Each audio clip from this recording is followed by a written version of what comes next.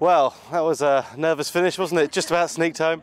Yes, a very nervous finish. Um, you know, I, I couldn't even watch those last couple of putts. It was just, just very nerve-wracking. A lot of relief right now, you know, just to get that full point. You know, we worked really hard, hard yesterday to get to that point, and um, you know, it's good to put a full one on the board.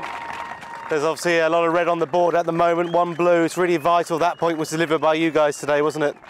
Yeah, I mean it's it's always good to get a full point up there, and and uh, even for the matches behind us, just to see that and and see that we have won. I think I think that is definitely a momentum bu- uh, booster, and, and I think that uh, definitely puts a little spark in the groups behind us. A lot of weather this week, a lot of early starts. How are the energy levels? I'll start with you first. Uh, I, was, I was struggling a little bit this morning, but I think I'm ready to go. I've, I've uh, these last couple holes have really got me pumped up, so um, I'm looking forward to this afternoon.